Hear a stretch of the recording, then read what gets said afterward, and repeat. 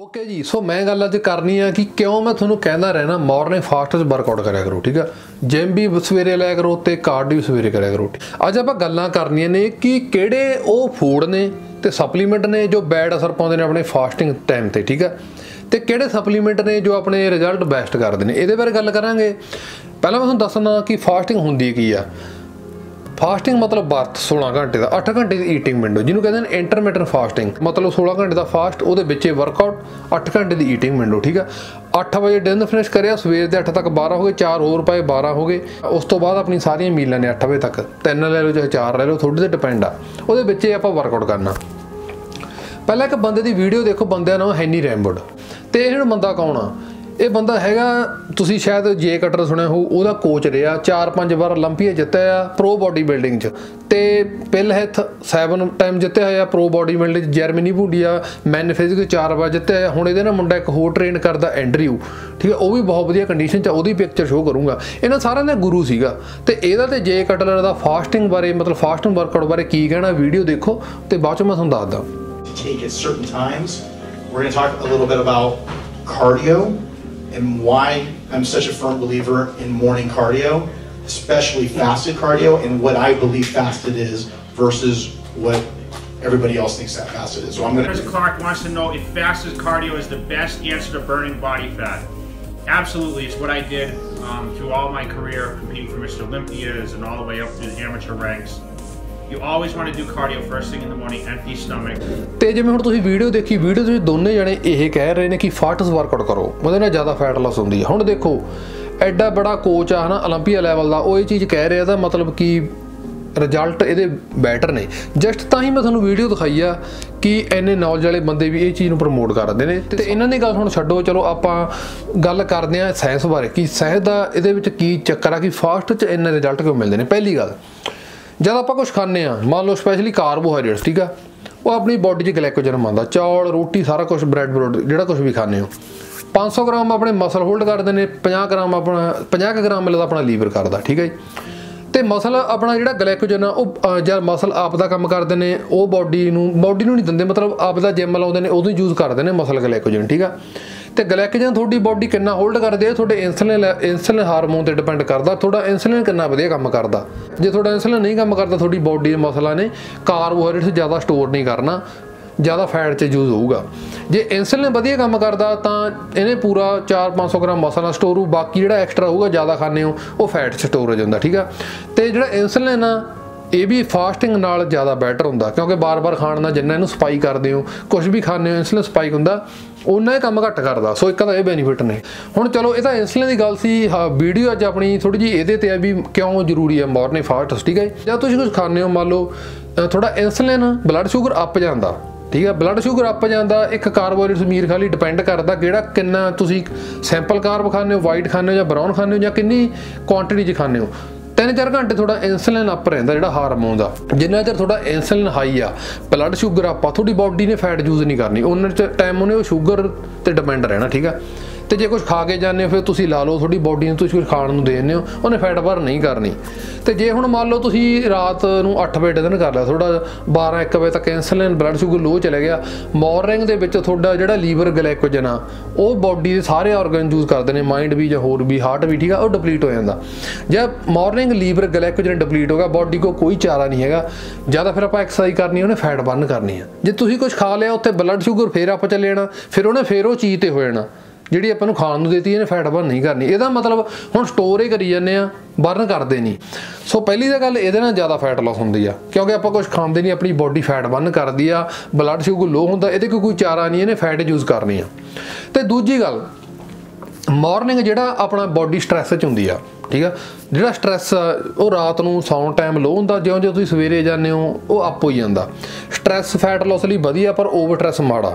ਹੁਣ ਜਿਹੜੇ ਆਪਣੇ ਹਾਰਮੋਨਸ ਨੇ ਐਂਡਰੀਅਨ ਗਲੈਂਡ ਇਹ ਮਾਰਨਿੰਗ ਦੋ ਹਾਰਮੋਨਸ ਜਿਹੜਾ ਆਪਾਂ ਵਰਕਆਊਟ ਕਰਦੇ ਰਿਲੀਜ਼ ਕਰਦਾ ਐਂਡਰੀਅਨ ਤੇ ਨਾਨ ਐਂਡਰੀਨਲ ਠੀਕ ਹੈ ਸੋ ਇਹਨਾਂ ਦਾ ਕੰਮ ਹੁੰਦਾ ਬਲੱਡ ਉੱਥੇ ਲੈ ਕੇ ਜਾਣਾ, ਜਿੱਥੇ ਬਾਡੀ ਨੂੰ ਲੋਡ ਹੁੰਦੀ ਆ।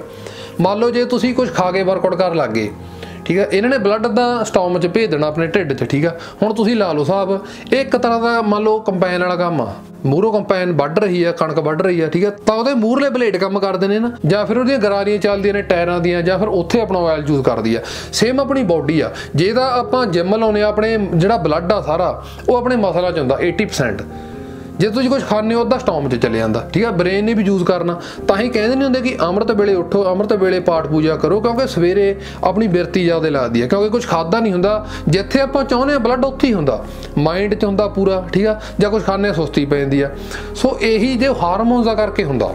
ਠੀਕ ਆ? ਜੇ ਕੁਝ ਖਾ ਕੇ, ਤੁਸੀਂ ਹੁਣੇ ਕੁਝ ਖਾ ਕੇ ਜਿਮ ਲਾ ਕੇ ਦੇ ਲਿਓ, ਤੁਹਾਡੇ ਡਾਈਜੈਸ਼ਨ ਖਰਾਬ ਹੋ ਜੂਗੀ। ਤੁਹਾਨੂੰ ਅਪਸੈਟ ਲੱਗੂਗਾ ਢਿੱਡ। ਉਹ ਕਿਉਂ? ਕਿਉਂਕਿ ਹੁਣ ਜਿਹੜਾ ਐਂਡਰੀਅਲ ਤੇ ਨਾਨ ਐਂਡਰੀਅਲ ਨੇ, ਉਹਨਾਂ ਨੇ ਅੱਧਾ ਬਲੱਡ ਤਾਂ ਤੁਹਾਡਾ ਮਸਲਾਂ 'ਚ ਭੇਜ ਦੇਣਾ, ਅੱਧਾ ਤੁਹਾਡਾ ਖਾਣ ਤੇ ਭੇਜ ਦੇਣਾ। ਇਹੋ ਜਿਹਾ ਤੁਹਾਡਾ ਵਰਕਆਊਟ ਹੋਊਗਾ, ਇਹੋ ਜਿਹਾ ਤੁਹਾਡਾ ਪੰਪ ਹੋਊਗਾ, ਇਹੋ ਜਿਹੀ ਤੁਹਾਡੀ ਫੈਟ ਲਾਸ ਹੋਊਗੀ, ਠੀਕ ਆ? ਜਾ ਕੇ ਜਦ ਉਹਨਾਂ ਨੂੰ ਪਤਾ ਨਹੀਂ ਲੱਗ ਰਿਹਾ ਵੀ ਬਲੱਡ ਭੇਜਣਾ ਕਿੱਥੇ ਆ।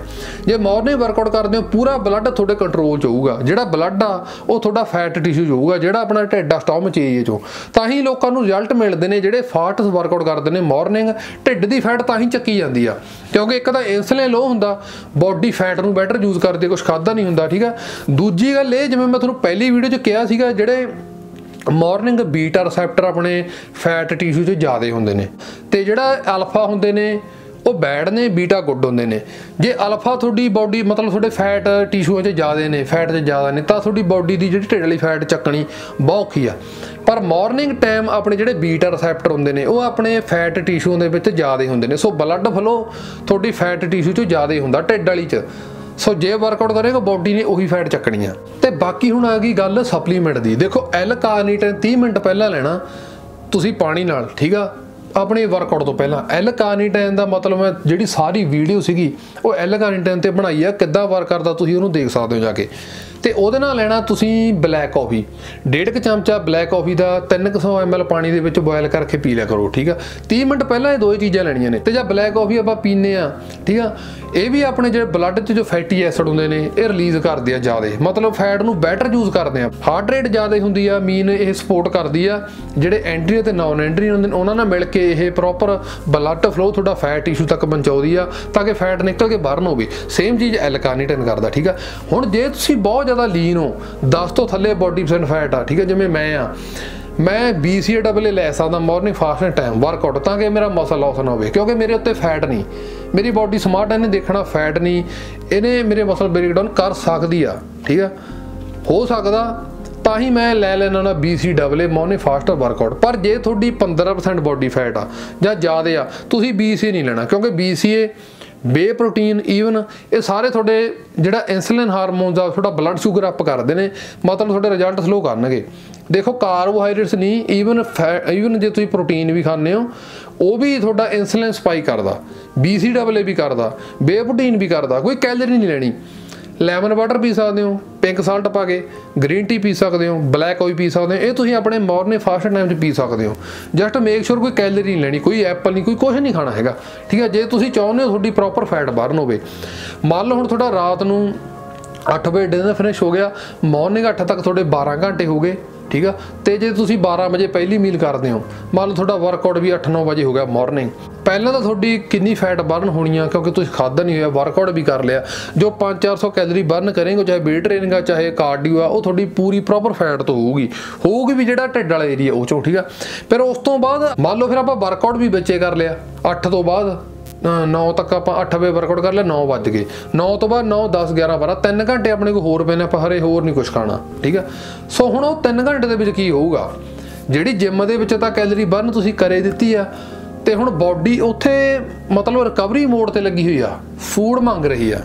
ਠੀਕ ਆ? ਹੁਣ ਜੇ 3 ਘੰਟੇ ਜਾਂ 2 ਘੰਟੇ ਨੂੰ ਹੋਰ ਫੂਡ ਨਹੀਂ ਦੇਣਾ, ਇਹਦਾ ਮਤਲਬ ਆਪਣੀ ਕੈਲਰੀ ਉਹਨਾਂ ਟਾਈਮ ਹੋਰ ਬਰਨ ਹੋਈ ਜਾਊਗੀ ਫੈਟ ਤੋਂ। ਕਿਉਂਕਿ ਇਨਸੂਲਿਨ ਲੋ ਆ ਬਾਡੀ ਨੇ ਫੈਟ ਚੱਕੀ ਜਾਣੀ ਆ। ਉਹਦੇ ਵਿੱਚ ਵੀ ਲੈਮਨ ਵਾਟਰ ਗ੍ਰੀਨ ਟੀ ਪੀ ਸਕਦੇ ਹੋ, ਹੋਰ ਇਹ ਪ੍ਰੋਸੈਸ ਨੂੰ ਫਾਸਟ ਕਰਦੇ ਨੇ। ਠੀਕ ਇਹ ਨਹੀਂ ਵੀ ਜਾਂ ਤੁਸੀਂ ਬੇਪਰੋਟੀਨ ਪੀ ਲਿਆ ਜਾਂ ਕੋਈ ਫੂਡ ਖਾ ਲਿਆ, ਤੁਹਾਡਾ ਜਦੀ ਇਨਸੂਲਿਨ ਅੱਪ ਜਾਣਾ, ਜਦੀ ਤੁਹਾਡਾ ਫਾਸਟ ਟੁੱਟ ਜਾਣਾ ਤੇ ਜਦੀ ਤੁਹਾਡੀ ਜਿਹੜੀ ਫੈਟ ਬਰਨ ਬੰਦ ਹੋ ਜਾਣੀ ਆ। ਬਾਡੀ ਨੇ ਉਹ ਫਿਊਲ ਤੇ ਹੋਣਾ ਜਿਹੜਾ ਆਪਾਂ ਇਹਨੂੰ ਦੰਨੇ ਆ। ਸੋ ਮਾਰਨਿੰਗ ਫਾਸਟ ਤੁਸੀਂ ਵਰਕਆਊਟ ਕਰਿਆ ਕਰੋ, ਚਾਹੇ ਵੇ ਟ੍ਰੇਨਿੰਗ ਆ, ਕਿਉਂਕਿ ਆਪਣੇ, ਮੈਂ ਜਿਵੇਂ ਮੈਂ ਕਿਹਾ, ਆਪਣੇ ਕੰਟਰੋਲ ਚ ਹੁੰਦਾ।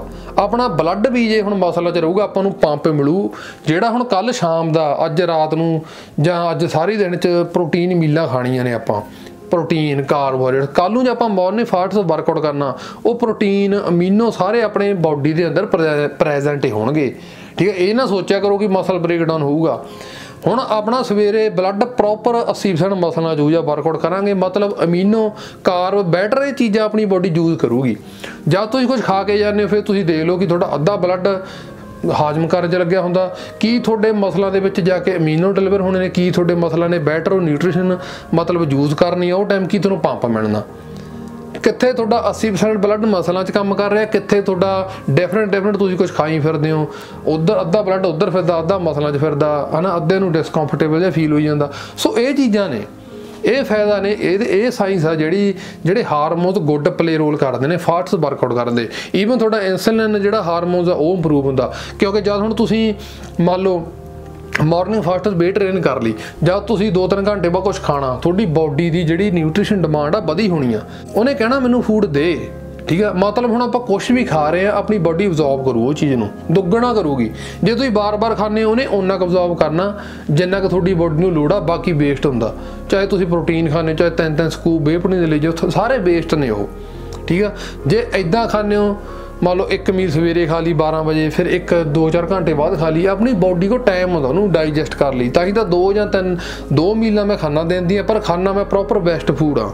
ਥੋੜੇ ਬਹੁਤੇ ਮਹਿੰਗੀ ਖਾਣਾ, ਮੈਨੂੰ ਪਤਾ ਕਿ ਉਹ ਮੇਰੀ ਬਾਡੀ ਨੇ ਅਬਜ਼ੌਰਬ ਕਰਨੇ ਨੇ। ਤੇ ਇਹ ਸੀਗੀ ਫਾਸਟਿੰਗ ਤੇ ਅੱਜ ਦੀ ਮੇਰੀ ਵੀਡੀਓ ਤੇ ਬਾਕੀ ਵੀਡੀਓ ਲਾਈਕ ਕਰਿਓ ਕਮੈਂਟਸ ਕਰਿਓ, ਤੇ ਜਿਹੜਾ ਚੈਨਲ ਆਪਣਾ ਸਬਸਕ੍ਰਾਈਬ ਕਰਿਓ ਹੈਰੀ ਮੀਡੀਅਰ ਫਿਟਨੈਸ ਤੇ ਨੋਟੀਫਿਕੇਸ਼ਨ ਤੇ ਵੀ ਕਲਿੱਕ ਕਰ ਲਿਓ ਤਾਂ ਕਿ ਨੈਕਸਟ ਵੀਡੀਓ ਤੁਹਾਨੂੰ ਨੋਟੀਫਿਕੇਸ਼ਨ ਮਿਲੇ।